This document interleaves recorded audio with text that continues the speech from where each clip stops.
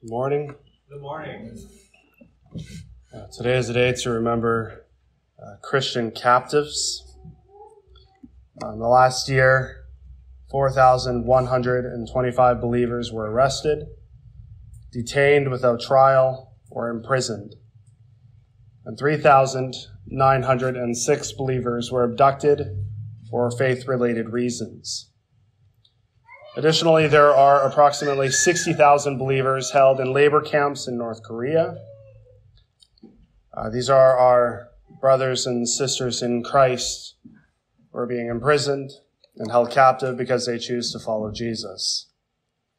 This morning, we have the opportunity to stand with them and pray for them.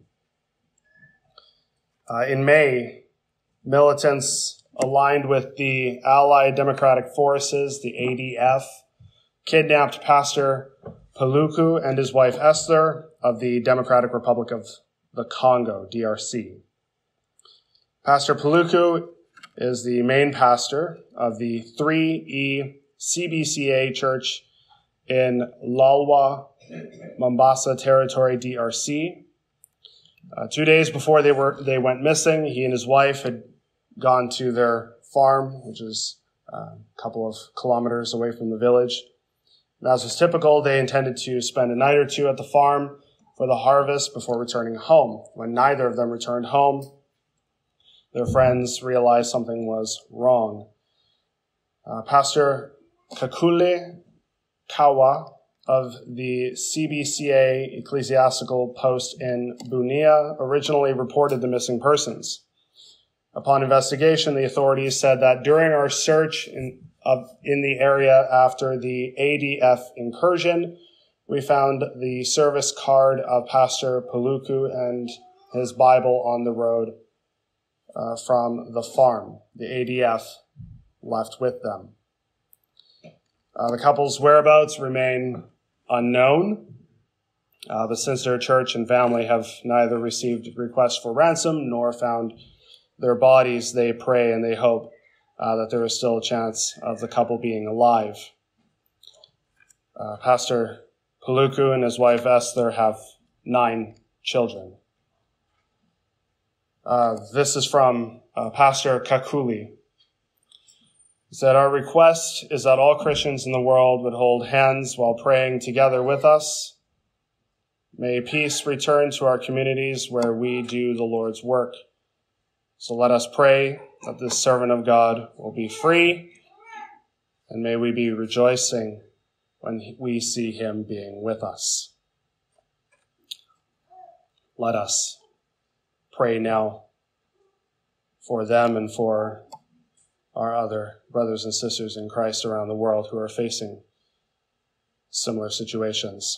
Heavenly Father, uh, we come before your throne of grace, lifting up our brothers and sisters in Christ who are held captive.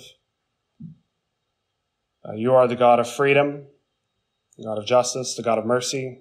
Uh, we trust in your power to deliver and to sustain them. Uh, we pray for your protection over these captives, that you would surround them with your angels and shield them from harm. Give them strength and courage in the face of fear and uncertainty. May your presence be a constant source of comfort and hope for them. And soften the hearts of their captives, that they may turn away from violence and oppression and turn to you. We also pray for the families and loved ones of these captives. Comfort them in their distress and fill them with your peace that surpasses all understanding. Lord, we remember the example of Christ who endured suffering and captivity for our sake. May these captives find solace in his sacrifice and resurrection, knowing that he is with them in their trials. We pray this in Jesus' name. Amen.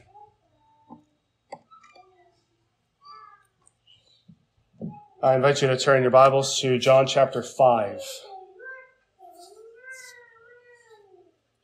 John chapter 5. We're going to be looking at uh, verses 30 to 47 for our time together this morning. Uh, follow along as I read our text for us.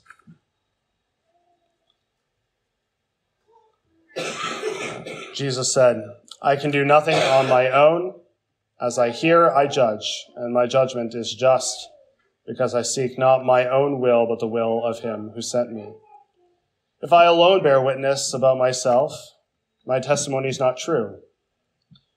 There is another who bears witness about me, and I know that the testimony that he bears about me is true. You sent to John, and he has borne witness to the truth. Not that the testimony that I receive is from man, but I say these things so that you may be saved. He was a burning and shining lamp, and you were willing to rejoice for a while in his light. But the testimony that I have is greater than that of John. For the works that the Father has given me to accomplish, the very works that I am doing bear witness about me that the Father has sent me. And the Father who sent me has himself borne witness about me. His voice you have never heard, his form you have never seen, and you do not have his word abide, abiding in you, for you do not believe the one whom he has sent. You search the scriptures because you think that in them you have eternal life. And it is they that bear witness about me. Yet you refuse to come to me that you may have life. I do not receive glory from people, but I know that you do not have the love of God within you. I have come in my Father's name, and you do not receive me. If another comes in his own name, you will receive him. How can you believe when you receive glory from one another and do not seek the glory that comes from the only God? Do not think that I will accuse you. Do not think that I will accuse you to the Father. There is one who accuses you, Moses, on whom you have set your hope. For if you believed Moses, you would believe me, for he wrote of me. But if you do not believe his writings, how will you believe my words? May God bless uh, the reading of his holy and inerrant word.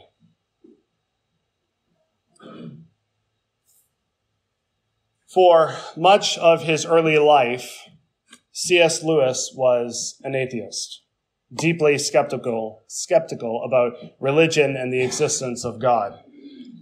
However, through the testimonies of those around him, Lewis began a journey to faith. Uh, one of the most significant influences on Lewis was his friendship with J.R.R. Tolkien, the author of The Lord of the Rings. Tolkien was a devout Christian who engaged Lewis in deep conversations about faith, reason, and the truth of Christianity. He presented compelling arguments and personal testimonies that challenged Lewis's atheism. Lewis was also moved by the writings of other Christian authors like G.K. Chesterton, whose logical and literary defenses of the Christian faith made a profound impact on him. Over time, these testimonies from trusted friends and respected thinkers began to chip away at Lewis's skepticism. He described his conversion as being surprised by joy, realizing that the Christian story was not just a myth, but a reality rooted in historical truth and personal experience. We are deeply impacted by the testimonies of those around us. Uh, yesterday, Helena and I attended the uh, funeral for my school principal who taught me from kindergarten to grade 12. Uh, she had a love for teaching, she had a love for her students, and she had a love for God that radiated to all those around her. And, and that theme was echoed throughout the funeral service. It was absolutely beautiful.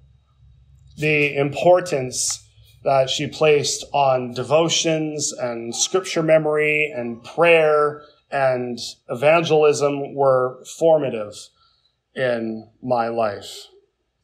And uh, I don't think I realized until fairly recently.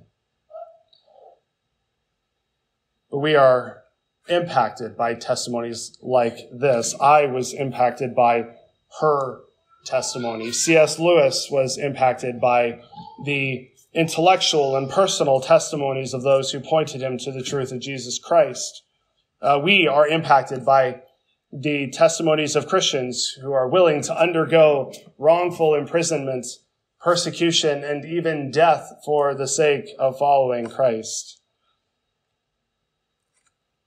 Well, our, our passage of scripture this morning has the feel of a courtroom where Jesus is going to call forward a, a series of witnesses to the stand whose testimonies will verify the audacious claims he made in the previous passage about him being equal with God.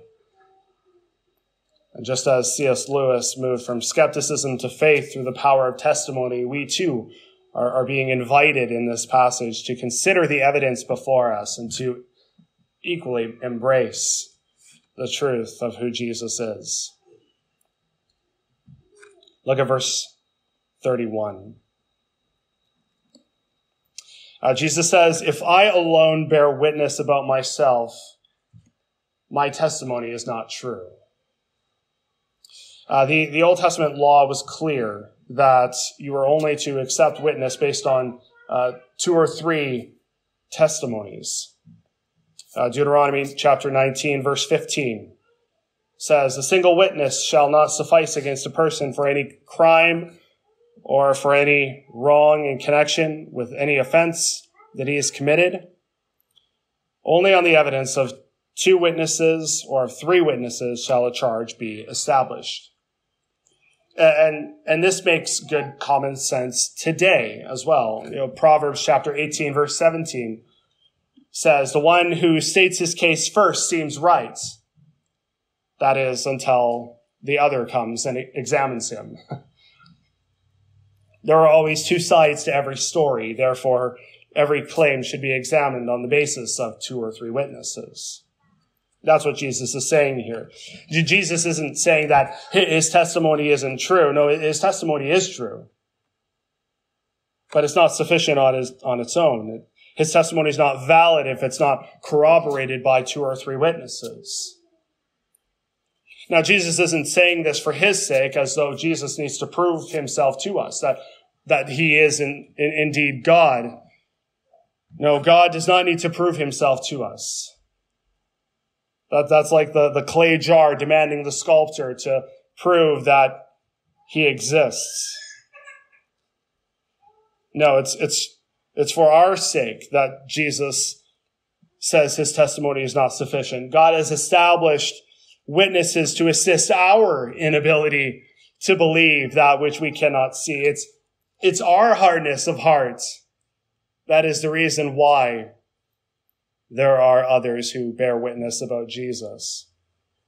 And so let us look now at, uh, at these four witnesses that Jesus puts forward for us.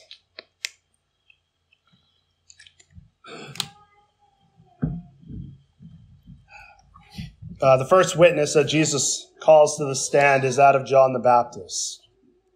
In verse 33, Jesus says that John the Baptist has borne witness to the truth. And, and back in John chapter 1, verses 6 to 8, we, we saw this, right? The apostle John writes, there was a man sent from God whose name was John. That's John the Baptist. He came as a witness to bear witness about the light, that all might believe through him. He himself was not the light, but he came to bear witness about the light, and that he did.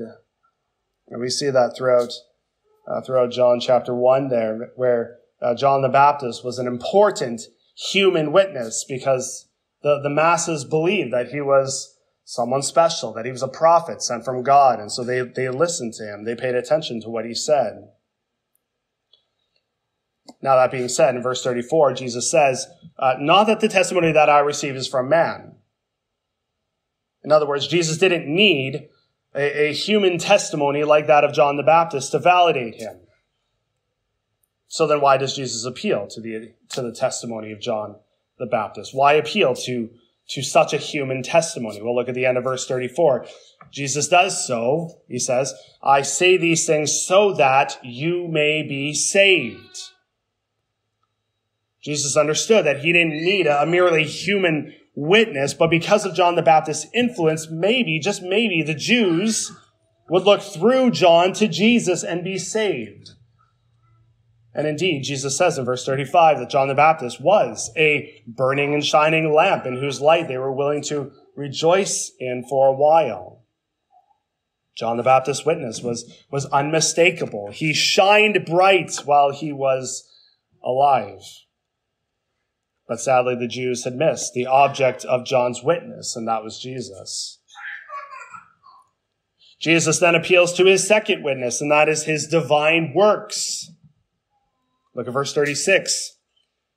But the testimony that I have, Jesus says, is greater than that of John. For the works that the Father has given me to accomplish, the very works that I am doing, bear witness about me that the Father has sent me. And, and Nicodemus, back in, in, uh, in John chapter 3, uh, indicated this. He said uh, in, in John chapter 3, verse 2, no one can do the things that you do unless God is with him. So, so Nicodemus saw Jesus' divine works and, and knew that, that there was something more to this, to this Jesus. Even though he was maybe not entirely convinced, he, he couldn't deny what Jesus was doing. Jesus' works confirmed who he was. The story is told of the renowned artist Paul Gustave Dore, who lost his passport while traveling through Europe. When he came to a border crossing, he explained his predicament to one of the guards. Giving his name to the official, Dore hoped he would be recognized and would be allowed to to pass through. The guard, however, said that many people attempted to cross the border by claiming that they were persons who they were not. Dore insisted that he was the man he claimed to be. Imagine trying to, to prove yourself to, to someone else. All right, said the official, we'll give you a test, and if you pass, we'll let you through.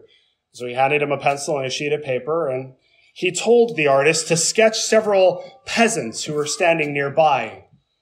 Well, Dore did it so quickly and skillfully that the guard was, was easily convinced that he was who he claimed to be. Uh, Dore's work confirmed his word. And in the same way, Jesus' works confirm his word. You know, thus far in John's gospel, we've seen Jesus turn water into wine. He's healed the official's son. Uh, he's healed uh, a lame man on the Sabbath. And, and the apostle John isn't done. He's going to tell us more, more miracles of Jesus. Jesus feeding the 5,000 and, and walking on water and healing a man who was born blind and, and even raising Lazarus from the dead. What is the apostle John's purpose in describing these, these works of Jesus? Well, we get our answer to that near the end of, of John's gospel in John chapter 20, verses 30 to 31, where John says that there are other signs that Jesus did which are not written in this book, but these are written so that you may believe that Jesus is the Christ, the Son of God, and that by believing you may have life in his name. John wants us to see that such divine works reveal that Jesus was truly divine. Jesus' works confirmed his word. But as we have seen, Jesus' works have, have not elicited praise and worship so much as persecution and even the threat of death. Verse 18, right? This was why the Jews were seeking all the more to kill him because he, he was not only breaking the Sabbath, but he was also calling God his own father, making himself equal with God. And so even his, his divine works weren't enough of a witness to persuade them. The third witness that Jesus calls to the stand is, is God the Father. Surely they will listen to the Father's witness. Look at verse 37. And the Father who sent me has himself borne witness about me. You know, his, his voice you have never heard, though, Jesus says and his form you have never seen. Um, un- unlike the other gospel accounts, which record a, a voice from heaven at Jesus' baptism and transfiguration, there, there is no such voice recorded for us in John's gospel.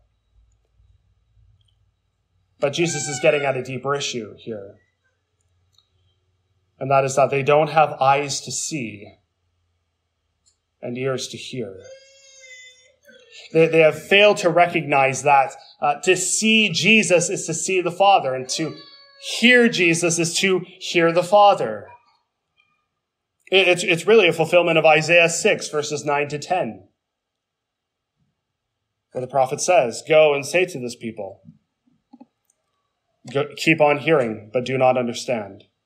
Keep on seeing, but do not perceive. Make the heart of this people dull and their ears heavy and blind their eyes lest they see with their eyes and hear with their ears and understand with their hearts and turn and be healed. It's, it's a story state. Their spiritual eyes, their, their spiritual ears, and their spiritual hearts were closed to the reality of who, who Jesus is. If they were truly listening, if they were, if they were truly seeing, then they would have believed the one whom the Father has sent. But as such, they, they will not accept the witness of the Father, and thus they will not accept the witness of Jesus. As a result of their rejection of the Father's witness, Jesus says in, in, in verse 38, you do not have his word abiding in you. The, the Jews, they, they thought they were people of the word, just like the, the psalmist who said, I have stored up your word in my heart that I might not sin against you. Psalm 119 verse 11. But, but Jesus says that, that if they will not accept his word, then, then they do not have the word dwelling in them. And this, this leads to the fourth witness that Jesus calls to the stand, and that is scripture. Scripture. Look at verses 39 to 40. Jesus says, You search the scriptures because you think that in them you have eternal life. And it is they that bear witness about me, yet you refuse to come to me that you may have life.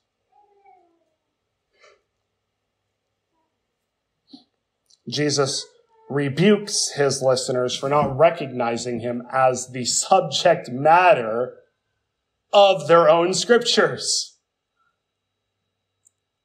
We, we see a, a glimpse of this in, in Luke chapter 24, verses 25 to 27, where Jesus says to the, the two strangers on the road to Emmaus, uh, on the road to Emmaus, shortly after his resurrection, uh, O foolish ones and slow of heart to believe all that the prophets have spoken. Was it not necessary that the Christ should suffer these things and enter into his glory?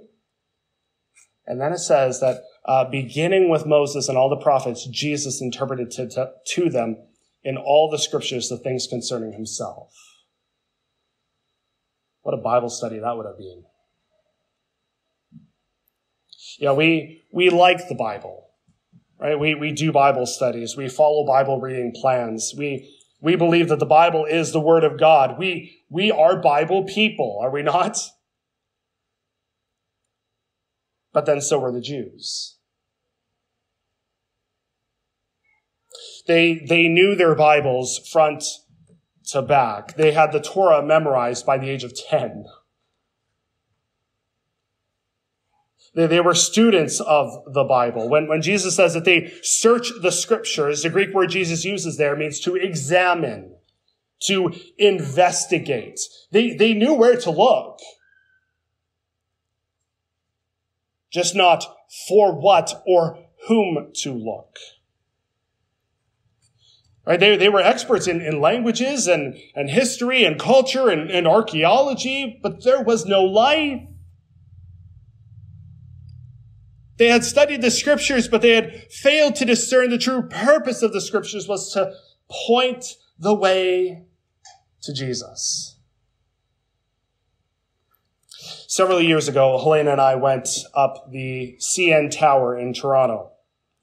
Now, I'm not one for heights but it was amazing to see the city from that perspective. I, I can't remember how many feet up it is. It's, it's thousands of feet up, uh, and you can overlook the the uh, the city skyline and the surrounding city uh, from the comfort of this protective glass so that you're not going to think that you're going to fall out.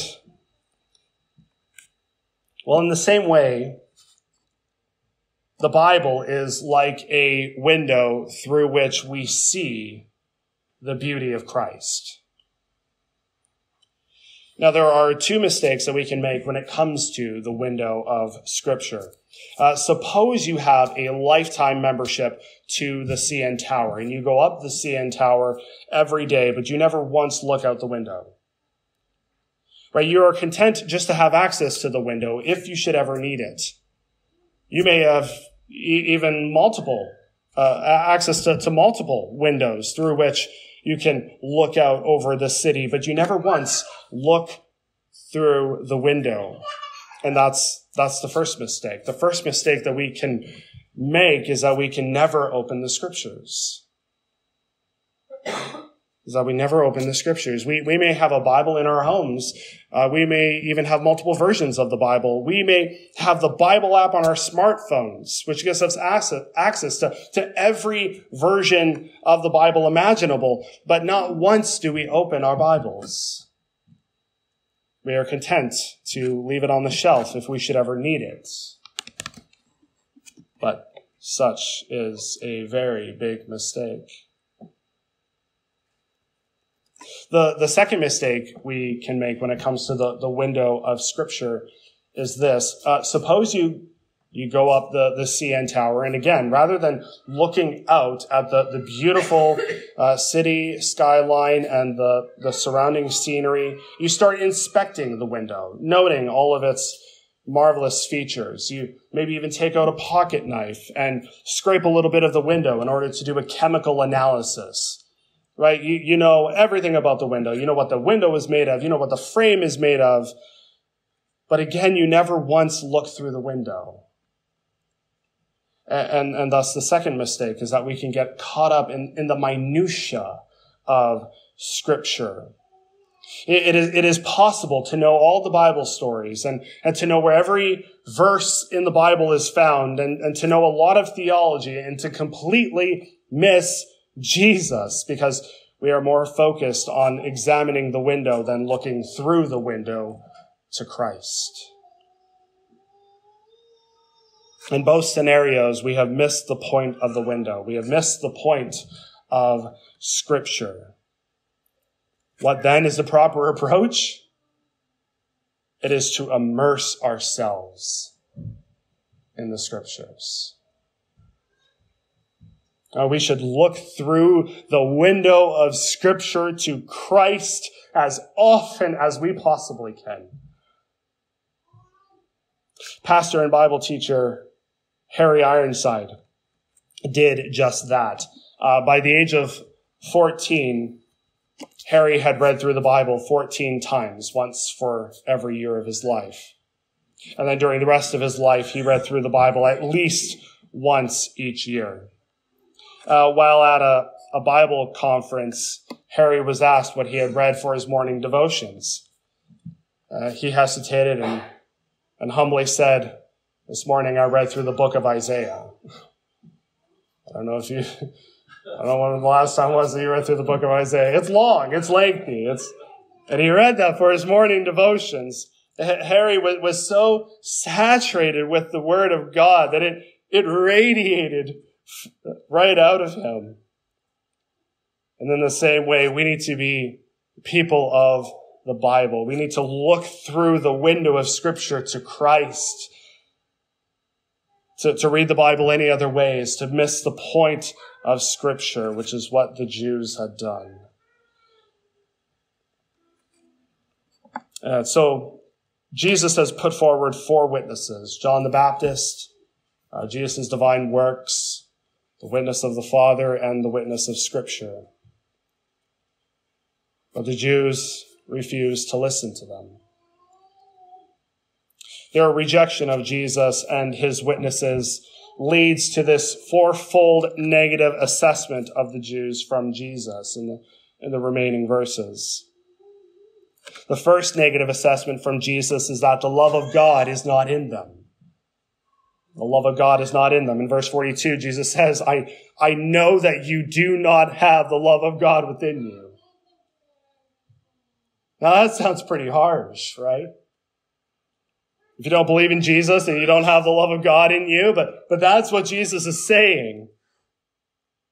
If you do not, if you do not love Jesus, then you do not love the Father who sent Jesus because Jesus is God in the flesh. Jesus is the invisible God made visible. Hebrews chapter 1 verse 3 says that Jesus is the radiance of the glory of God and the exact imprint of his nature. If, if we don't love Jesus whom God has sent, then, then we don't know God. And if we don't know God, then we don't have the love of God in our hearts. Do you, do you see the, the, the dreadful connection here? Now, by the way, by, by nature, this, this is all of us. Uh, we, we do not naturally possess a love for God. Uh, on the contrary, we love everything but God. John chapter 3 verse 19 says, And this is the judgment. The light has come into the world and people loved the darkness rather than the light because their works were evil. But I, I, I think the thing we love most is ourselves. The thing we love most is ourselves. I, I think that's what's, what's most subversive about what Jesus says about the most important commandment. It's, it's throughout the Gospels, Jesus says, uh, love the Lord your God with all your heart, with all your soul, and with all your mind. And he says a, a second is, is like it. Love your neighbor as yourself. Right? Jesus isn't commanding us to, to love ourselves because we, we're naturally good at, at loving ourselves if, if we're being honest. No, Jesus is commanding us to love our neighbors just as we love ourselves. There is no natural love of God in us because we are naturally full of love for ourselves. But here's the good news. While we loved ourselves, God loved us. Romans 5 verse 8 says that God shows his love for us and that while we were still sinners, Christ died for us. Do, do you see the irony? While we would sacrifice everything else for ourselves, God sacrificed himself for everyone else. and, and this is why the, the act of conversion is so powerful because it is a turning away from the world. It's a turning away from the devil. It's a turning away from us, from ourselves to God. Right? We, we don't want to be a people who are content with sin in our lives. No, we want a people, we, we want to be a people who are being transformed into the same image from, from one degree of glory to another, as, as 2 Corinthians chapter 3 verse 18 says. So may God give us a, a love for Him that would radiate to all those around us. They did not have, the, the, the love of God was not in them. That's the, that's, that's, that's the first negative assessment from Jesus. The second negative assessment from Jesus is that uh, they will readily follow false messiahs. They will readily follow false Messiah. In verse 43, Jesus says, uh, I have come in my Father's name and you do not receive me. Right? We, we saw this in, in John chapter 1, verses 10 to 11. Where the apostle John says, He was in the world and the world was made through him, yet the world did not know him. He came to his own and his own people did not receive him. Right, so we've, we've already seen that uh, Jesus has come in the Father's name and, and they did not receive him. But then Jesus continues, if another comes in his own name, oh, you'll receive him. Yeah, see, the, the Jews, they, they were looking for the Messiah. They were looking for the Christ. And, and there were a number of people who had come uh, and who had gained a following, but then it would fizzle out. In, in Acts chapter 5, verses 36 to 37, Gamaliel alludes to this. He says, uh, for before these days, Theudas rose up, claiming to be somebody, and a number of men, about 400, joined him. Well, he was killed, and all who followed him were dispersed, and it came to nothing. After him, Judas the Galilean rose up in the days of the census and drew away some of the people after him. He too perished and all who followed him were scattered. And so there were a number of these individuals who they rose up, they said they were the Messiah, they said they were the Christ, and it fizzled out and went to nothing. And so Gamaliel's, Gamaliel's point in the book of Acts is wait, see if this will come to nothing. And if it doesn't, if it you know rises to, to something, you don't want to be opposed to it, or else you'll be opposing God. But we have a, a natural tendency to follow after false messiahs. See, our, our, problem is, is not that we will believe in nothing. Our problem is that we will believe in every, anything and everything. Uh, if you don't believe in the one true God, someone or something will be your God. Uh, John Calvin said, the heart is a perpetual idol factory. It's just, it, your heart is constantly pumping out idols. Right? We, we are good at finding God substitutes, whether that is work or medicine or exercise or food or wealth or family or sports or social justice or the environment, right? These these are all substitute gods that we look for uh, to save us. These, these are all false messiahs that, that will make bold claims to satisfy the desires of our heart, but, but that come up woefully short on what they deliver because they're not, they're not the true Messiah. The true Messiah is Jesus Christ. And, and if we won't receive him, we will receive anything and everything. That's the second negative assessment. The third negative assessment from Jesus is that uh, they are glory thieves. They are glory thieves. In verse 44, Jesus says, How can you believe when you receive glory from one another and do not seek the glory that comes from the only God? Right? Here, here, Jesus is pointing out uh, something innate in us, and that is that we are glory oriented creatures. We, we are attracted to glorious things. It's how God has wired us. God created a glorious world to point us to his glory. Whenever we see glorious things, we are reminded to give God the glory. Or at least that was, that was God's intention in creation. But sin has turned us into glory thieves, where we attempt to steal God's glory for ourselves. We, we see this in, in Romans chapter 1, verses 22 to 23, where the apostle Paul says, claiming to be wise, they became fools and exchanged the glory of the immortal God for images resembling mortal men and birds and animals and creeping things. Right? We've exchanged the glory of God for lesser and created things. The problem is, is that we crave glory that doesn't belong to us. Paul Tripp writes, at the bottom of a broken marriage a shattered family, or a forsaken friendship, you will always find stolen glory. And this puts, at, a, at, at, puts us at odds with the King of glory. In verse 41, Jesus says, I do not receive glory from people. Why? Because Jesus knows what is in the heart of man. We saw that at the end of, of, uh, of John chapter 2. He, he knows that we do not naturally love God, that we do not naturally, that we do not naturally uh, seek the glory that comes from the only God. Because we love man's approval more than we love God's approval. And this leads to the, the final negative assessment from Jesus. And goodness, if we, if our hearts have not been exposed up until this point, the final negative assessment from Jesus is that Moses accuses them. Moses accuses them. In verse 45, Jesus says, I Do not think that I will accuse you to the Father. There is one who accuses you, and that's Moses, on whom you have set your hope.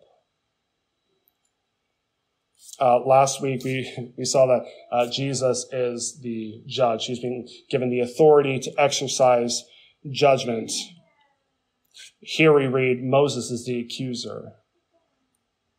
which we don't typically think of uh, Moses being the accuser. We think of the devil being the accuser. But the, the Jews were all about Moses. They were all about the Torah. Uh, but what Jesus is doing here is he's challenging the object of their faith. You know, what have you put your faith in? What, what they had done is they had put their trust in themselves. They had put their trust in uh, their religious tradition. They had put their trust in their forefathers rather than putting their trust in the Lord, rather than putting their trust in Jesus, whom the Father had sent. And Jesus says in verse 46, For if you believed Moses, you would believe me, for he wrote of me.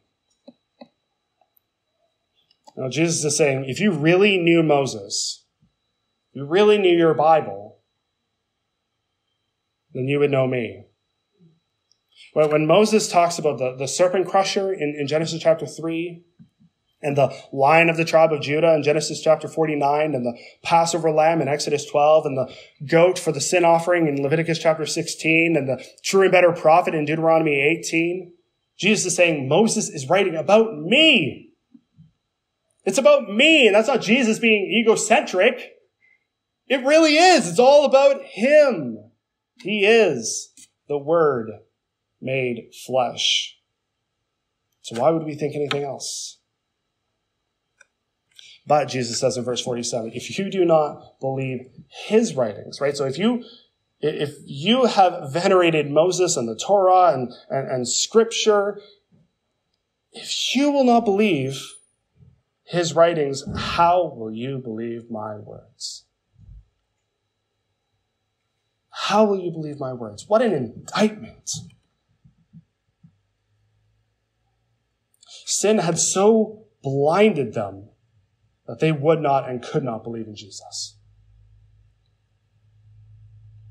And, and such is the devastating reality for, the, for all those who, who do not believe in the Lord Jesus. Uh, apart from the grace and mercy of God in changing our hearts, in changing our affections, in changing our wills, we would all be headed for a lost eternity. We would all be in the same sorry state. What is required of us? We must lay hold of Christ, whose witness is more than sufficient. It's more than sufficient. Uh, Lee Strobel, uh, an award winning uh, journalist and former legal editor of the Chicago Tribune, uh, was once a staunch atheist. Uh, his life changed dramatically, however, when his wife Leslie became a Christian. Uh, Strobel feared that her newfound faith would ruin their marriage, and so he was determined to disprove Christianity and bring his wife back to atheism. Strobel embarked on a journey to investigate the claims of Jesus Christ. So, using his uh, journalistic and legal skills, Strobel examined the evidence for Jesus' resurrection, the historical reliability of the New Testament, and the claims about Jesus' identity. Uh, he interviewed uh, numerous experts in theology, history, and biblical scholarship rigorously, analyzing their testimonies and the evidence that they were presenting. And it was through this exhaustive investigation that Strobel found that the historical evidence for Jesus' resurrection was robust, that the New Testament documents were reliable, and that the claims of Jesus' divinity were credible and formational and transformative. Strobel's journey from skepticism to faith culminated in his conversion to Christianity. He realized that the evidence overwhelmingly supported the claims of Jesus Christ, and he could no longer deny the truth. This morning, have been confronted by the most powerful testimonies from the most reliable witnesses to Jesus. And the question for us is, will we embrace these testimonies about Jesus and declare that Jesus is in fact who he claimed to be? Or we, will we, with sin blinded eyes and sin deafened ears and sin hardened hearts, refuse to accept their testimony and reject our only hope in life and death. The choice is ours.